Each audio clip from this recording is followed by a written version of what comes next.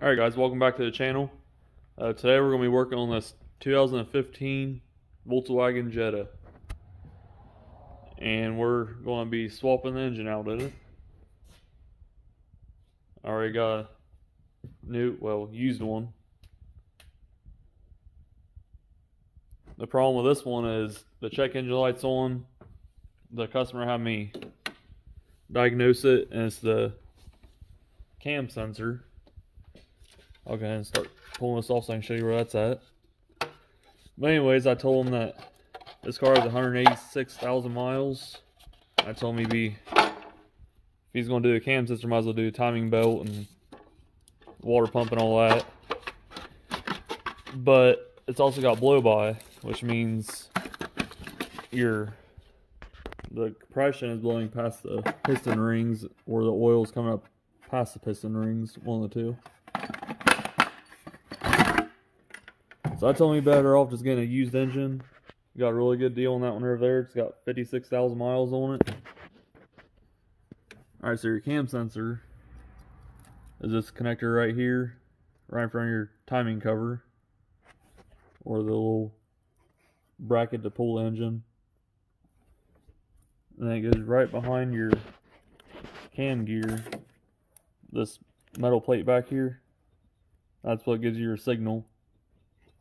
It's got a, if you look right there, there's a gap back there that passes through that sensor and that's what gives you your reading. So that sensor is going bad. So we're going to go ahead and replace the engine.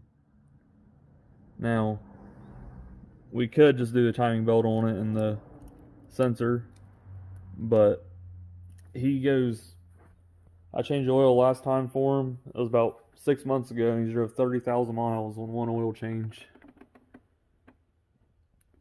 So he definitely don't take care of his vehicle. But we got this one right here. It was $800, I think. That's shipped to me and a two-year warranty on it.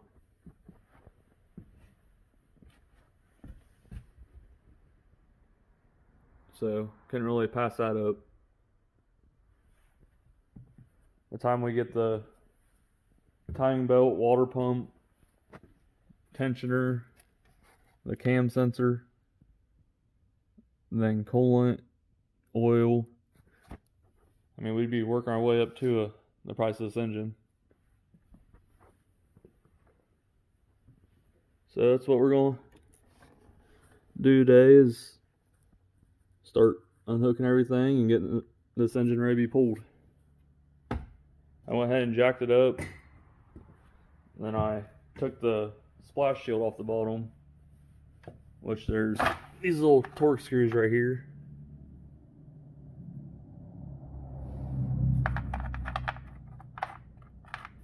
There's eight of those. And they go along the edges of it, four on each side. Then I drain the oil out of it. Okay, hop down here and show you what's going on.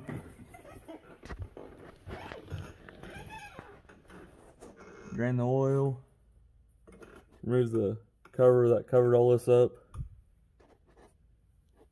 Now what I'm going to do is get the power steering drained.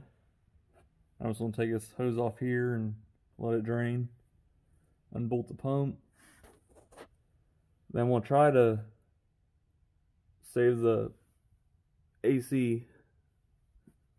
I don't want to drain it. So I want to just try to unbolt the compressor and pull it forward. Now normally when I do a engine I pull the transmission too, but really there's a lot of room down here along with up top. I think there'll be plenty of room to separate them and get it out. Just gonna be me doing it, so might not be in difficult. I don't know. I'm gonna go ahead and do the everything underneath first, so that's why I can lower it back down. Uh, I don't really. Looks about like everything, just the AC compressor and the power steering pump. This mount right here is bolted to the transmission, so it can stay.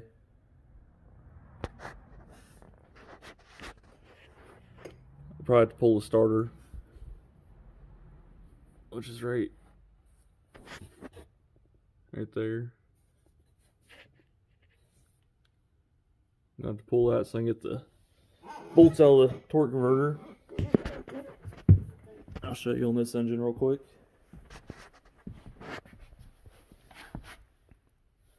So there's six of those. Well, maybe you don't pull the starter. Looks like there's a little inspection hole back here to get to your torque converter bolts.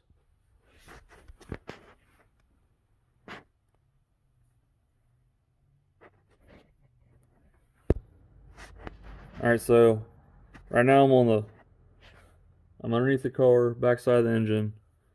There's a black rubber plug right there, or plastic, I don't know, I haven't touched it yet. It's right above the axle. So it looks like you just pop that out of there and then unbolt the torque converter. Seems pretty simple. And I also have to get the four exhaust bolts out. They're right there on the flange. Hopefully they come off. Probably not breaking, but that's alright. There's another manifold over there.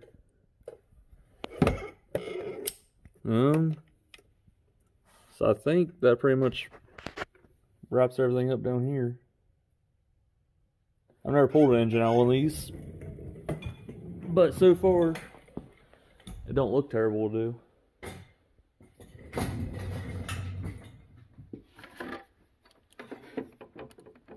I'll of course remove the alternator, get it out of the way. Then after the, I think if I take the belt tensioner off, which is this, and that engine mount, I'll have plenty of room to separate the engine and transmission. It's the plan anyway. So up here I gotta undo all the hoses of course. There's a couple of them. Then all the wiring. Some cars have a one master connector. So all your wires run to one big connector. Normally it's on the one side of your engine bay. But I don't see one on this one. That's okay, we'll just unplug everything. Now it's very important when you take your bolts out to keep them around the area where they go or put them back in the hole. I do that so I don't have any bolts left over. Sometimes you still do for some reason, but most generally it helps a lot.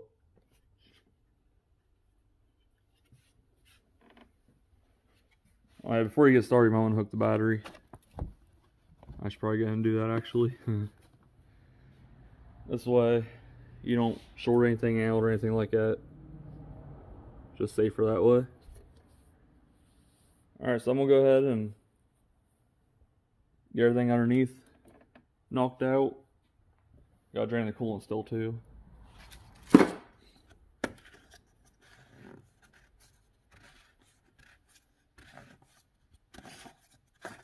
If you take your cap off, it'll drain a little faster underneath.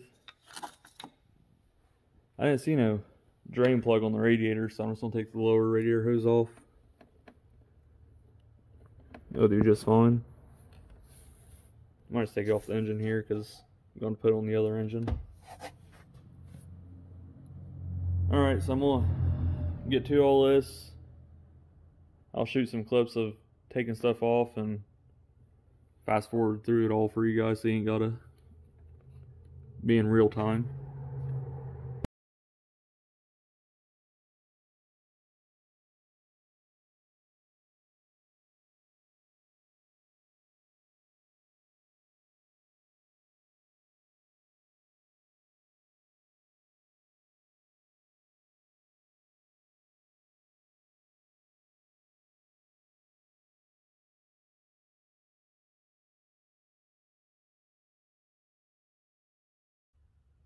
Alright guys, I already ran into one problem. This is a power steering pulley. See these bolts here? I don't have the socket for those.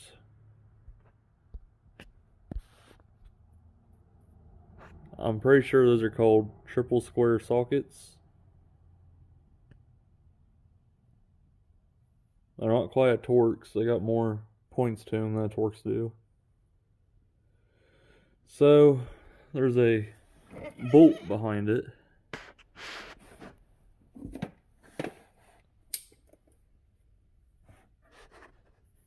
Right there. So I'm going to try to use a wrench and see if I can back it out far enough to get it out. I really doubt it. A lot of pulleys have a hole where you can go through here to get to them. But this one you can't. So I'm gonna go ahead and try to spin that out with a wrench and see how that goes.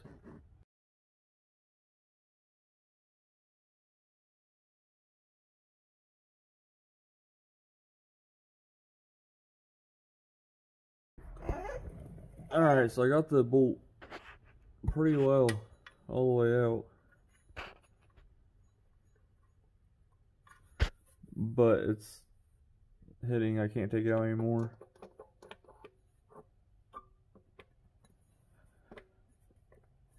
So, I don't know where my little pry bar is. But I can't get it out with the pry bar I'm using with that bolt still in there. So I'm going to go ahead and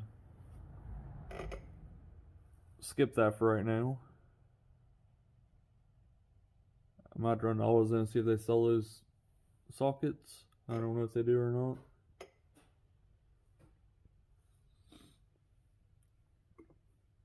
I should probably pop the plug off for the torque converter bolts, see what kind of bolts those are. Alright guys, I don't know if you make that out, it's kind of really white from my light. There we go. it's actually just a nut. And it's a 15 millimeter. I'm going to try to use my electric ratchet to get up in there and hopefully break it loose.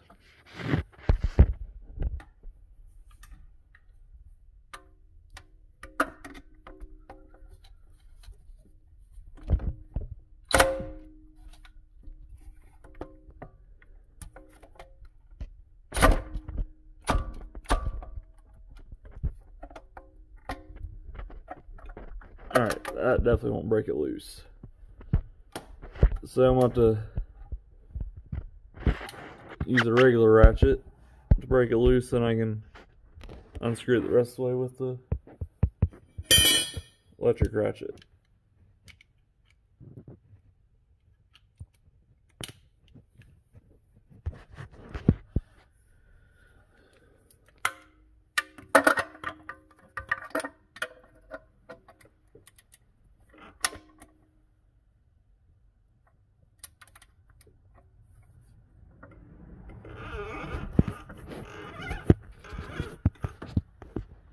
Sorry if you hear my creeper squeaking. It's annoying for me, but not just annoying for you guys also. I try to cut most of it out. Oh, this is really tight.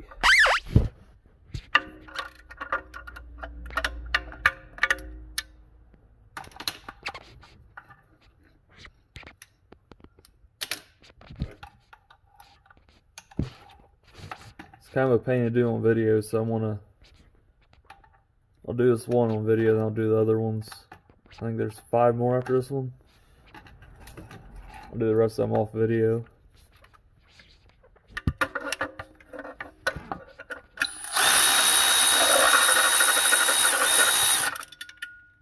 Oh shit. Well, I dropped it down in the bell housing.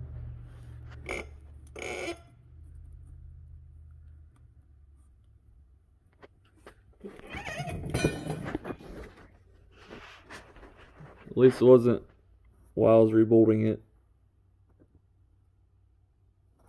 So hopefully it don't happen when I'm trying to put it back together. Oh well, I'm gonna go ahead and do the rest of them, then I'll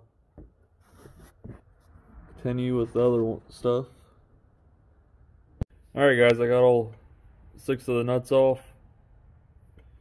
Um, just in case you don't know how many bolts there are for sure, or nuts, whatever there is on the vehicle you're working on, whenever you go to turn it, I don't know if you can hear that, but that was the torque converter hitting the flex plate because it's loose now.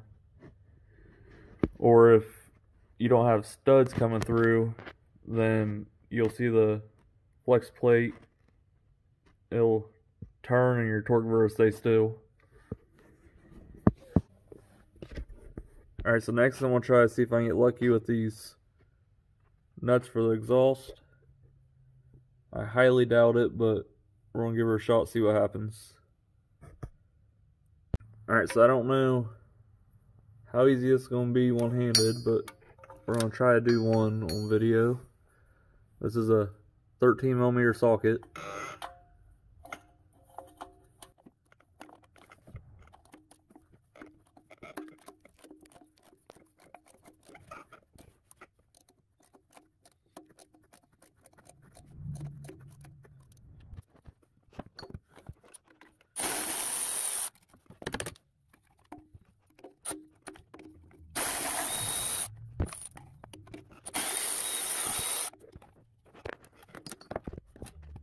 Alright, I got all four of the nuts off here. One, two, there's one on this corner, and one on that corner. This one was kind of a pain. Luckily I had a flex head ratchet, and I put the socket on here, put the handle up towards the top of the engine, and that's where I was able to break it loose at. The rest of these, I did from down here. I was able to break them all loose, surprisingly. I used my battery powered ratchet to zip them off there. That top corner up here, I had to use a regular ratchet the whole time because the battery powered ratchet wouldn't fit. So that's the exhaust. Now should be able to pull it apart just like that. Then she should be out of your way. So now, move on to the next thing. Alright, next thing I'm going to work on is, I'm going to go and get some of these bell housing bolts out. There's one here. Let me, there we go. One there, there.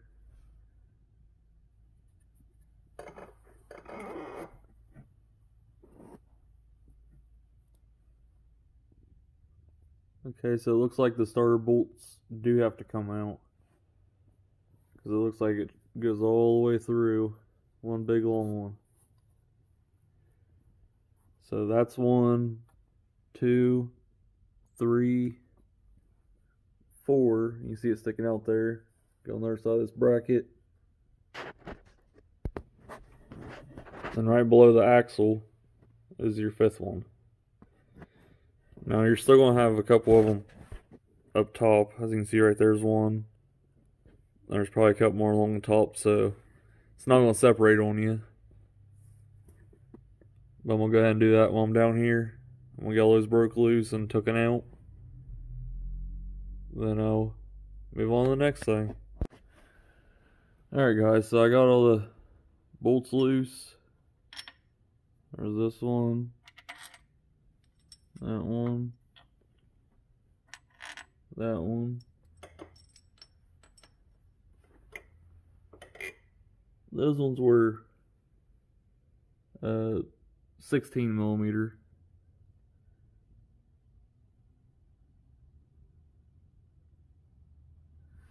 Then this one back here, that one's an 18 millimeter. Then your starter bolt here, it has this bracket that goes over top of it first. So you gotta take that off. That one was a. There's a little nut for it. That one was a 13 millimeter. Then the bolt itself. That's an 18 millimeter. Now this one with this power steering line in the way, I use these long reach flex head ratchet wrenches. Made it pretty easy, but still kind of a pain. I tried to use a ratchet, but this sensor connector right here was in the way. So that's all you have to work with is a ratchet. Go ahead and unplug that. Maybe take the sensor out if possible. This way you don't break anything. I'm just going to slide the starter bolt out a little bit because I ain't taking the starter out. It's just going to...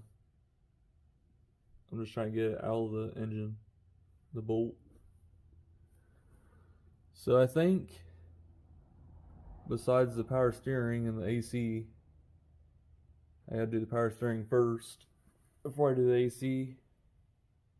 I think that's everything down here except drain the coolant, which I'm gonna do that one completely down underneath because I don't want that dripping all over me. So I'm gonna go ahead and look up those sockets, see if Advance or AutoZone has them. And one thing I do want to mention is you really should wear safety glasses, especially on older vehicles. I had all kinds of rust fall in my eyes and stuff like that, dirt, grime. But that pretty much wraps everything up underneath. Seemed pretty simple so far. Like I said, I just got to do the power steering pump and the AC compressor. Then that should wrap up everything underneath. So whenever I get the sockets, I'll show you guys what they look like and stuff like that. Alright guys, I went to Advance Auto and they had this uh, bit set here. Triple square. As you can see right there. 12 point. They're metric. Half inch. Lifetime warranty. Uh, they were 13 bucks. Here's what they look like.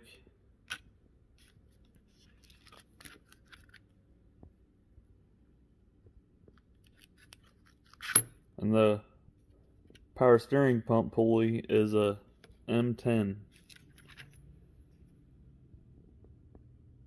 Just in case you guys just want to buy one bit or whatever, if you're able to. So that's what that is. I'm gonna go ahead and get underneath the car and I'll get to taking the pulley off. Alright, so again, here's the pulley here. And the bit. Fits there nice and tight. Got plenty of room. I thought I was to cut it down, but surprisingly, I don't have to. Then, if you get the same set as I got, it's actually a 13 millimeter.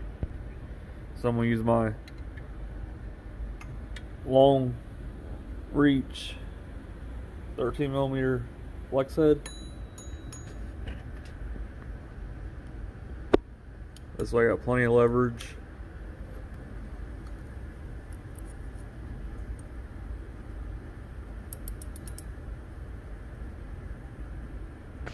Alright, this might be tricky while holding a camera. We'll set you down, hopefully you can see what I'm doing.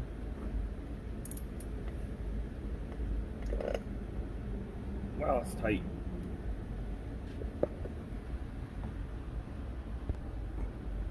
Alright, so what I did here is those little slits in the pulley. I poked a screwdriver through the back of it. And then let it rest up against the oil pan. And I was able to break them all loose. So now you just twist them out of there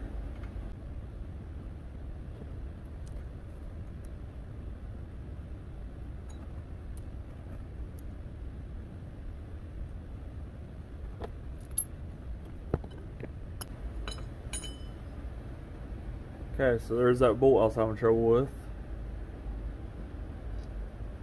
As you can see, I had it all around threaded, but it must just been catching just enough to mess it up.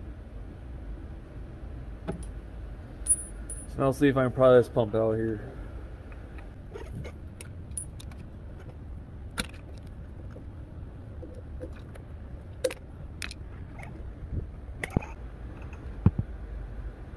Okay, well before you pry the pump out there, you might want to get all the bolts out. Looks like I missed one right there.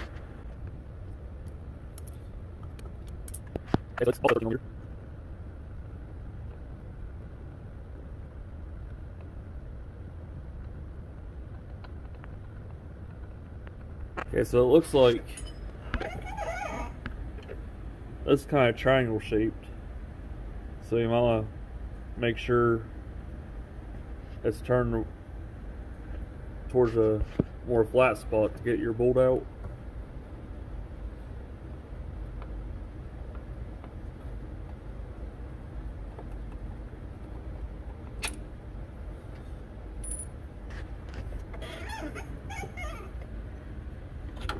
Look at that. Don't need pride anymore. It's amazing what happens when you get all the bolts out. Okay, so I'm gonna go ahead and put this out of the way.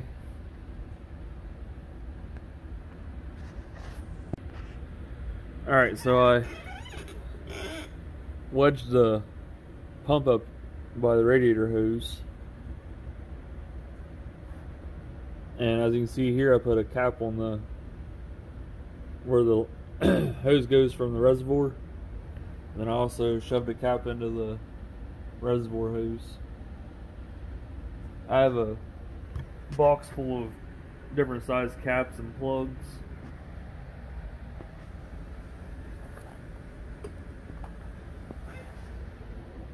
Anytime I have a new engine, they come with caps and stuff like that, so I just always keep them for jobs like this. This way I don't make it such a big mess. Alright, so the next thing I'm going to tackle is the AC compressor, which looks like this bolt right here is also a triple square. So I'm going to plug that sensor there. This way I don't break it. And there's one there one there. Imagine one up on top. Yep, so there's seems like three of them holding it. So I'm gonna go ahead and get those loose and hooking out. And I'm going to guess those are also M10 triple square. Yes, they are. M10. Alright, got the AC compressor out. As you can see, it's dangling. That connector, I just shoved a screwdriver up in. And there's a little tab here. I pressed it away from the connector and it released it, popped right up. Then Here's the three bolts. Again, those are the M10 triple square bits. I did one at a time. Then the last one, of course, was had all the weight of the compressor on there, so I just wiggled it with my other hand and took it out. After you break them free, they spun out pretty easy. At least on this one. So, I'm hoping that this is going to be all the way since I'm pulling the engine up. Hopefully don't cause any problems with just dangling. I'd rather the customer not have to buy more Freon. But if it comes down to it, it is what it is. Alright, so I think the only thing left down here is to drain the coolant. I'm to go over everything real quick, make sure I got it all. Because like I said before, I don't really want to have coolant dripping all over me. Alright guys, I got everything underneath done, I do believe. I don't see anything else. I'm sure I probably forgot something. But now I'm going to do, disconnect the bottom radiator hose, which goes right here on the engine. It's right behind the alternator. Uh, your top hose goes over here to this T, but you're to want to do the bottom. So I'm to do it there, then I'm to drop it down in that bucket. Now, if you guys are tight on money, it won't hurt to reuse your coolant. I'm not going to, I'm just to put in this dirty bucket. The only way it's not okay is if A, it's contaminated, it looks bad, or the wrong antifreeze, or B, you blew a head gasket maybe and you got oil in your coolant, which I guess that'd be contaminated still. But this one does look good. As you can see, it's nice and pink. But the customer is just going to buy new, so might as well go ahead and put fresh in it. Check out my phone holder I made. It slides. Well, as long as it don't come out.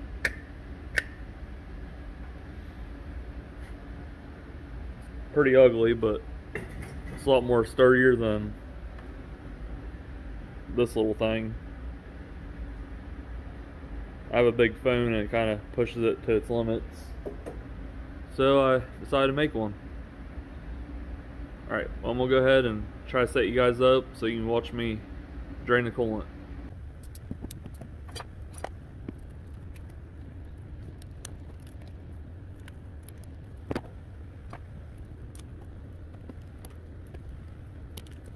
Alright, got the clamp slid back, the hose broke free. Now remember, when you do this, there's going to be coolant come out of the hose and the engine block. Well, it might not be very much. Looks like thermostat's right there. Depending on what vehicle you have, I guess. So, I'm to go ahead and scoot the bucket over some more. I don't really want to make a huge mess of my garage floor.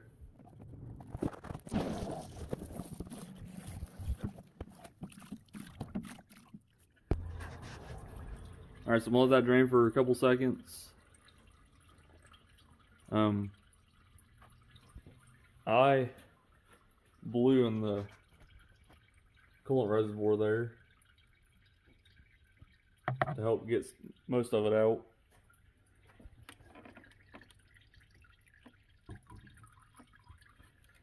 I don't know if you guys ever seen these, but they're hose clamp pliers. They ratchet so you can click and it stays in place. Then these little ears are, or teeth, I guess you call them, go around the ears of a hose clamp. Let me release them real quick. So you just put it on there like that, squeeze it, and then it ratchets it ratchets and locks in place and you can slide it wherever you want pretty nifty I think they were a little over 100 $150 something like that um, I was going to use them on this but the dipstick tube was in the way and I gotta be careful with it because the one on the new engine going in it. Looks like it got broke during shipping. So I gotta gently get the other one off.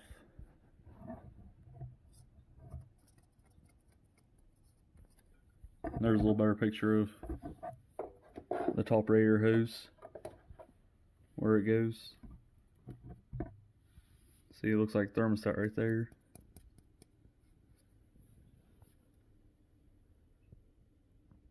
But yeah, there's everything's drained out of it now. The oil, coolant, and power steering fluid. Probably gonna pull this power steering line up so I get the reservoir all the way. I'll do that here in a minute. Alright, now what I'm gonna do is go ahead and move this bucket, put my oil drain pan under the hose so this way if any more drips out, I don't make a any bigger mess. Then I'm gonna go ahead and set the car down. So I'll get you guys caught up when I'm done with all that. Alright, so I got it dropped back down on the ground. I put the drain pan down there.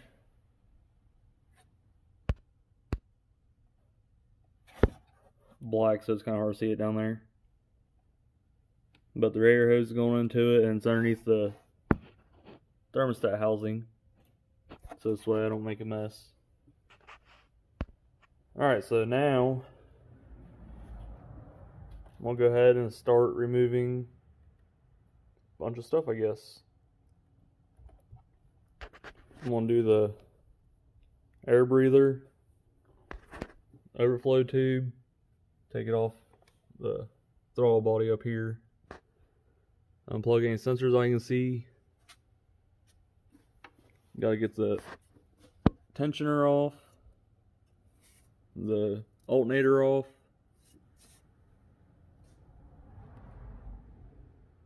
Um, yeah, not too much, I guess.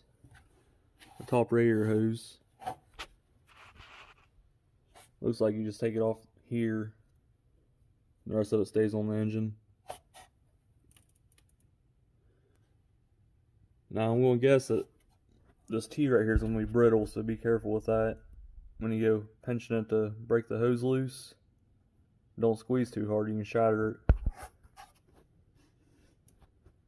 But I'm going to go ahead and set you guys up and do a little time lapse. Then I'll kind of do a recap of all I've done.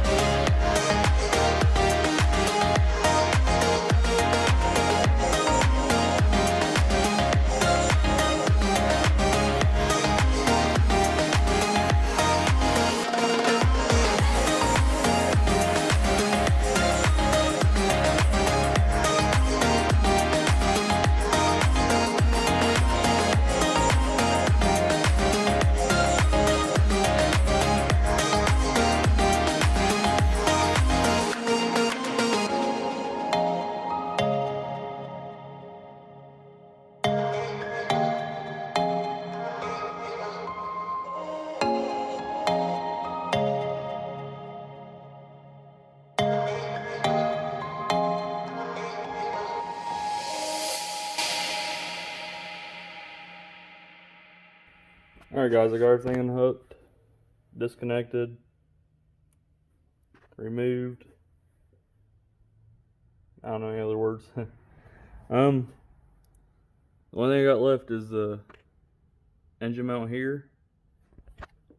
Then I have one bolt here for the bell housing and one bolt right down here for the bell housing underneath all this junk. There's a lot of coolant hoses. You got some going on the transmission, which I have never seen before. You got an oil cooler on it, which I've only seen on diesels and turbo engines.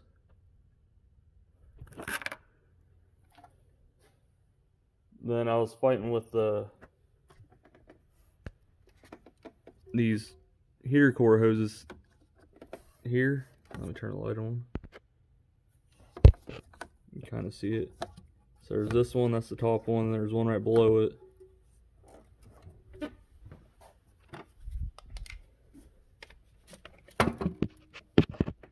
One right below it there.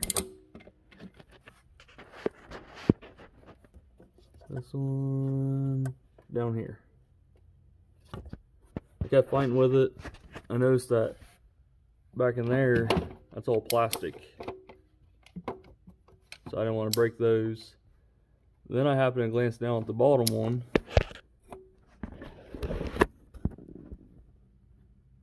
And they take clips. As you can see the metal clip still on that one.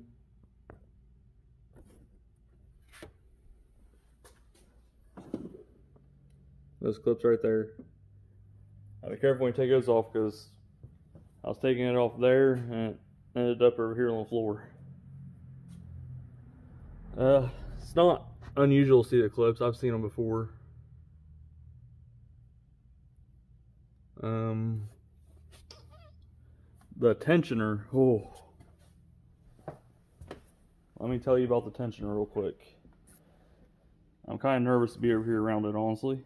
All right, so there's a pin, and it's fully tensioned right now, so it's, it's got a bunch of tension on it. As you can see, that pin is diagonal. Like it could slip out at any point, and that's going to fling real hard.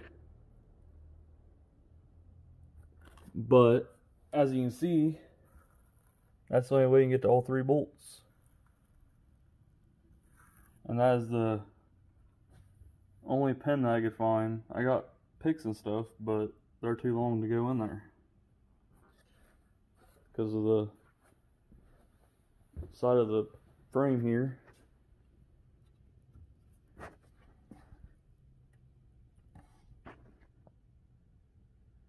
So,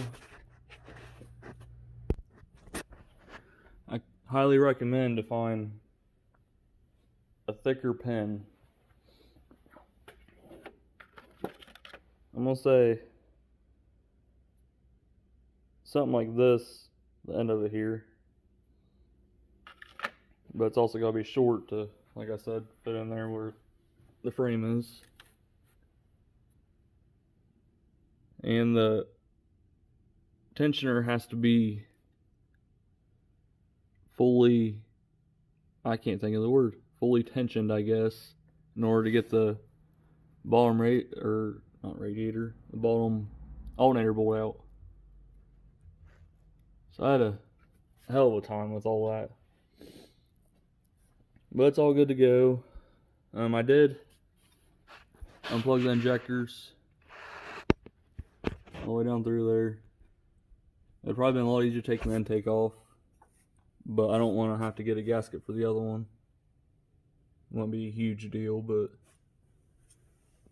well, spend more money than I have to?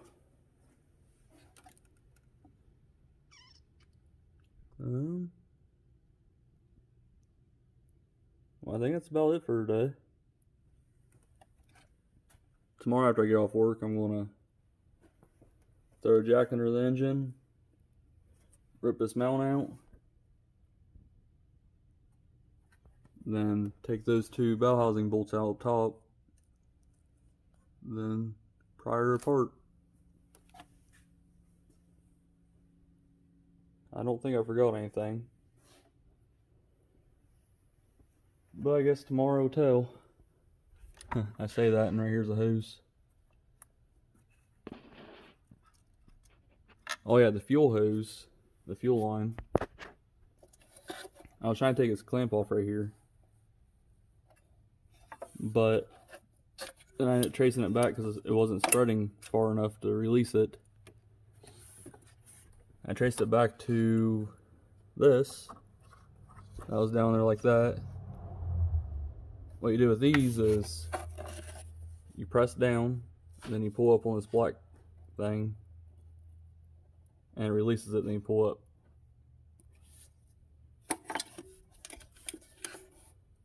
So that's pretty cool.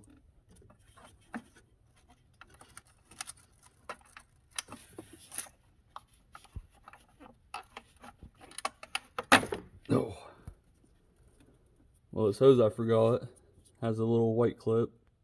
You push down, then you press this the side of it in, then you pull it. I should probably go ahead and undo that before I forget it tomorrow and rip it.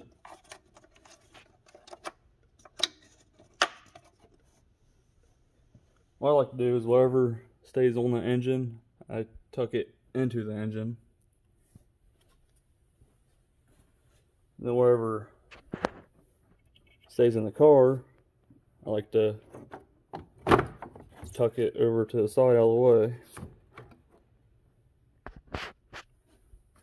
So as you can see, everything's kind of, except that cluster of hoses there, everything's pretty much out of the way.